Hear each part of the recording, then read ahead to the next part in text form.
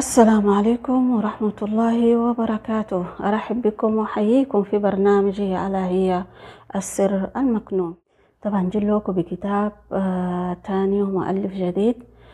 آه كتاب هذا ألف من 1998 آه للكاتب روبن جرين. اسم الكتاب 48 قانون للقوة. فكالمعتاد الكتاب هذا أكثر من لغات أكثر من مية لغة من كتر ما هو يعني مهم الكتاب هذا.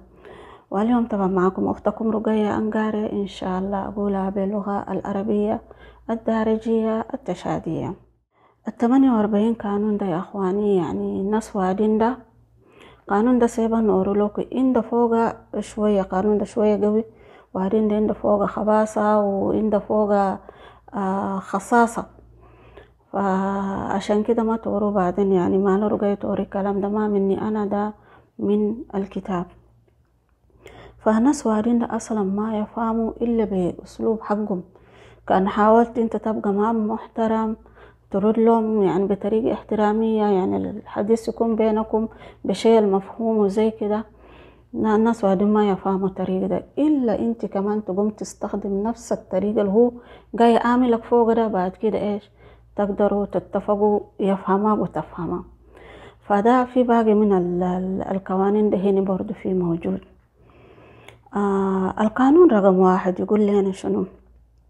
لا تحاول أبدا أن تتفوق على سيدك. يعني مثال ده شنو؟ مثال ده يعني قال باترونك اللي انت قد تخدم صودا هو باترون على راسك صح ولا لا؟ ما تحاول أن تظهر مهاراتك تحاول أن انت قد تلبس أخير منا تحاول إن أنت تعرف هموم كتير أحسن منا. مش اللي هو يخطك في راسه. نادم ده مالا يخط راسه في راسي. نادم ده مالا كده. فجاي يدبر لك كمين واي. لا يمرقك. من خدمة ده. فعشان كده أنت في بكان خدمة ناك وما باترون ناك ده لازم ترسبكته لازم تقول يعني أمر وتاع زي كده. لازم تسمع كلامه. فحسسك إنه هو هو يعني رئيس عليك. ده قانون الأول. القانون رقم اثنين. لا تدع الثقة الكبيرة في الأصدقاء. وفعلا رفقان وارين ده ما ما تآمنهم كالبلهين. رفيقك الانت توري يعني رفيقك المرة واي. القميتو في كرتي سوا ولا كان قريتو سوا أنكون هو أكتر نادم يعرف أشيرك.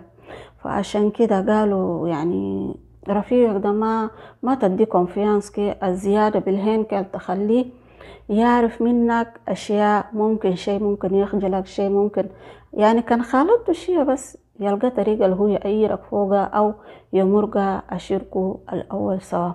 وكان تدور تسي شيء واحد برضو ما تخليه يعرف. وكان يعرف وقت مؤخر كله آه كان ما قدر وقفك في شيء اللي أنت ماشي فوق ده. يعني قال أبسط حاجة ممكن يحسدك. فعشان كده ما تخطوا ثقة كبير في الرفقان.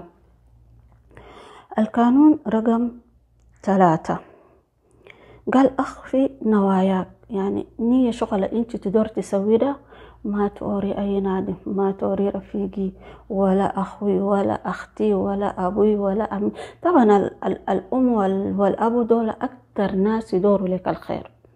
منك آخر كما فيه فعشان كده أي شيء أنت دور تسوي في حياتك ده خليك إيش؟ آه فمك ده قفلة وأذانك ده دايما خليه واقف. فعشان كده يعني لو جيت تسوي شيء وحجت فوق ده الشيء ده ما يبقى لك وده كتير أنا كنت جربته كله. فانتبهوا. القانون رقم أربعة يقول تحدث دائما بالأقل من اللازم. يعني الناس وارنا مثلا كان قعدوا في في مجال ولا زي كده كلامهم ده إلا كتير يحجوا في السمع في الهوان يحجوا يحجوا يعني يحسبوا نفسهم ده هم بس اللي يعرفوا يحجوا وهم بس الإيش؟ الكلام المسموع أو هم بس يعني يجيبوا كلامات كويسة أو شيء زي كده. فدائما قال كان حجيت كتير ده ففي النهاية ده تجي تلخبط وتوري كلام خلط فده عشان كده قلل من الهجة الكتير اللي انت كان قاعد في وسط ناس. وكان تحدي برضه قال خلي كلامك ده شيء ومفهوم وكلام عنده معنى وأحيانا كلام يكون مبهم يعني. نادم الذكي قبل يقدر يفهم كلام ده. قال ده أخير. آه نجو في قانون رقم خمسة. أعتمد بشكل كبير على السمعة. السمعة ده ما يدور سمعته يكون أديل فقال السمعة ده قد ما تقدر يعني ما تلطخ سمعتك. سمعة ده دائما حافظ فوق يعني ما تسيخ خمام الماء أديل ما تمشي مكان الماء أديل آه قال ممكن فعل أنت قد تمارسها فعل ده ما أديل ما سمع من المحرمات أو أو شيء زي كده. فما تخلي نادم يقرب لك شيء أم باكر أم بكرة. فلان ده فلان ده فلان ده فلان ده شرف حق كيكي فلان ده كيكي فلان ده كيكي. فعشان كده قال دايما خلي السمعة هناك ده زي حجر الزاوية. تعرفوا حجر الزاوية ده؟ يعني المشى مكة إن شاء الله ربنا يزوركم مكة كلكم. الحجر الزاوية هذا طبعا له شرف وله سمعة. كل ما انت مشيت في بيان. أي نادم يتمنى يمشي في مكان ده وأي نادم انت لو سمعتك كويسة ده أي نادم بيحاول إنه هو يقرب معك أي نادم بيحاول إنه هو يكون رفيقك وشيء زي كده. طبعا إنسان مشهور بالسمعة. آه القانون رقم ستة. ألفت الانتباه بأي ثمن ممكن. ألفت الانتباه بأي ثمن ممكن ده يعني معناته في ناس واعدين ده بيكونوا هم يقعدوا في وسط الناس ولكن المظهر حقهم لباسهم ما مش الآخرين. يعني دائما تلاقيه مثلا يعني لباسه ده مكرر دائما لدى الناس.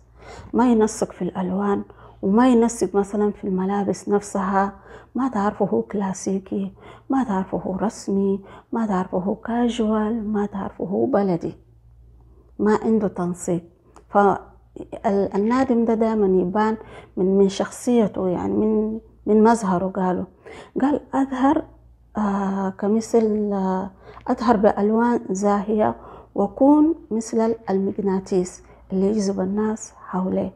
يعني دايما خليك كده ما شاء الله اللي يشوفك مظهرك لا يولى عليه يعني ما تمشي تلخبط كده ولا كده. فهو هذا القانون آه رقم ستة. نجو في قانون رقم سبعة. أجعل الآخرين هم يقومون بعمل لك وأجعل الفضل يعود لك. يعني دا دايما يعني القانون ده مش اللي فوق شوية خصاصة.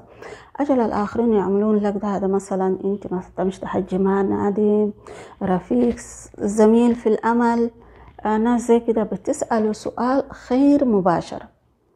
أنت قد تفتش معلومات تقدر تزيد فيها ده خلاص عشان كده تسأل سؤال خير مباشر هو ممكن يقعد يتحجى يفلت كده أيوه أنا كده كده. أو أسأله عن شيء واحد بس هو يكمل عليك الباقي. انت هنا شلت منه معلومة انت تدورة مشيت زدت فيها هناك فانت نجحت فت يعني مشيت شوية. وناس يقولوا إنه ده الشيء ده انت اللي يعني بجهدك انت لما انت وصلت اللي انت وصلت فوق.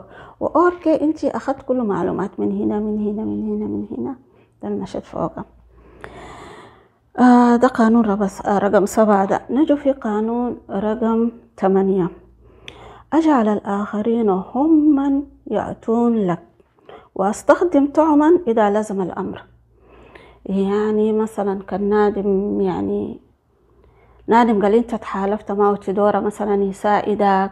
أو شيء زي كده أو نادم انت قبل كده سوي له خير وكده. كان ناديته له قلت له تعال ساعدني نجي نسوي مش اللي قال يلقى طريقة هو يزخ منك هنا ولا هنا. فعشان كده أقربه وأوري لي نادم ده. أنا ترى عندي شغل مش مش ده ندور نسوي لكن ندور نادم. نادم ده كسوى لي شغل أو مش جاب لي كده ندي شيء بمش الله قال أظهر لهم الفائدة ولا تظهر لهم إيش؟ جانب الامتنان تقعد تتمنى عليه. عشان أنت قبل كده سويت له شيء زي كده. فده ما تظهر له. القانون رقم تسعة.